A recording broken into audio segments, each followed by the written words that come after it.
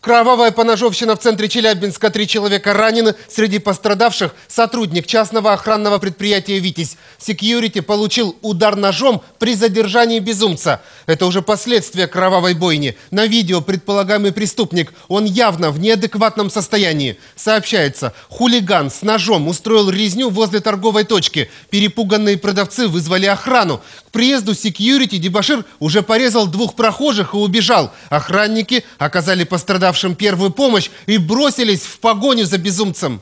По обнаружению преступников экипаж применил все меры к задержанию, но у одного из них был нож.